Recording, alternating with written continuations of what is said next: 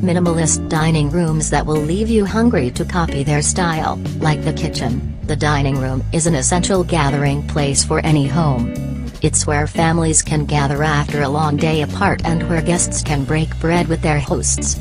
The extravagant formal dining rooms of yore that made it difficult to talk to someone at the other end of the table have long since given way to something a bit simpler, where breakfast cereal is more common than a five-course meal.